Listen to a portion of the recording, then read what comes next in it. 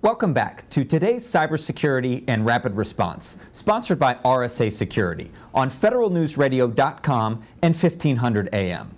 I'm your host, Jason Fornicola, and my guest today is Matt McCormack, Chief Technology Officer of RSA's Global Public Sector. Matt, what does risk management mean in the context of our most critical national security data? So for a long time, our industry, and it still is in some respects, people you know, refer to as security. Mm-hmm. Well, in today's world, there is no security. There is risk management. And so my job is more from being a security guy to essentially, for lack of a better analogy, an insurance salesman, right? So if you drive a Ferrari, you're going to buy more insurance than if you drive a Civic. Why? Because the car is worth more. You're managing your risk. And it's the same thing in this industry now. Not everybody has the same amount of money or resources or people, and so you're going to manage the risk.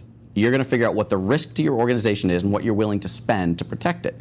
And so the concept of risk management is, to one of your previous questions, essentially an acceptance that there is always going to be breaches how do we manage? How do we manage the risk and make sure that your board of directors or your agency head understands that there's a risk to doing business. When you put anything on a website, it's more risky than if not.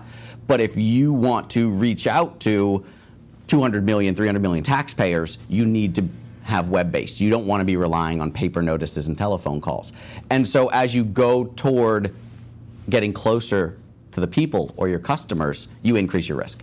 People, that's a, that's a good point. Uh, leads me to my next question. We've talked a lot about the, the nuts and bolts and the technology side of this issue, how to respond, how to react, but there's a people part of this too, right? Correct. In your companies, in your agencies. Talk to me about how to properly recruit, train, retrain our employees to make sure that these sorts of things either don't happen again or happen as infrequently as possible? And for me, the people are the biggest issue because you can have all the greatest technology and all the greatest processes. If you don't have the smart, capable people, those are useless. So in the security world or the risk management world, it's people, process, technology. Technologies last, people are first. And the reason is you need them. You need them to make decisions.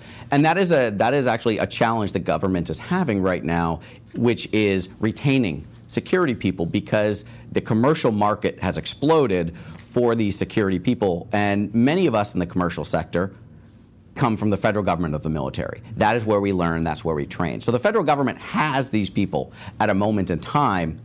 There is a struggle to retain them and that is a problem. We call it in the uh, industry the cyber poverty index. You know, not referencing you know some of the other. This is it is the haves and the have-nots. There are certain agencies and certain companies that have lots of people, and there's others that have none.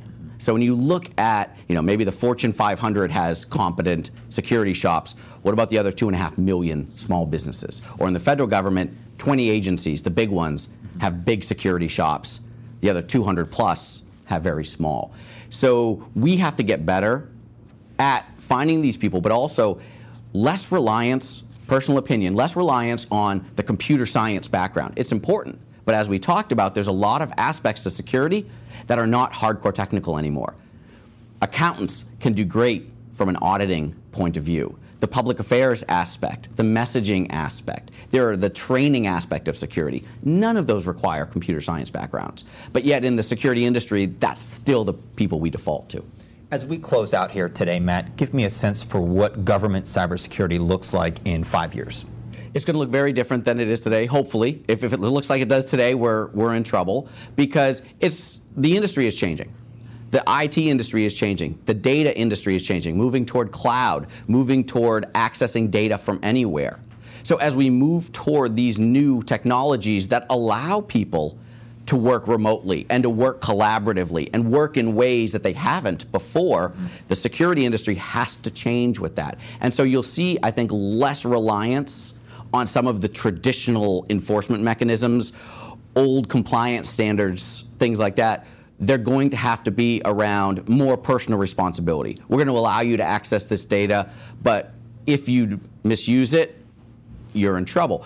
And that means we as the, the security professionals have to change how we're doing business so that we can get better at detecting anomalies in the cloud on your mobile devices and move away from traditional desktops. And so hopefully we're able to get there as the industry because the IT industry is not going to stop or slow down. So we in the security industry have to speed up to stay with them. I'd like to thank my guest today, Matt McCormack, Chief Technology Officer of RSA's Global Public Sector, on today's cybersecurity and rapid response. For more on our discussion, go to federalnewsradio.com and search RSA. I'm Jason Fornicola.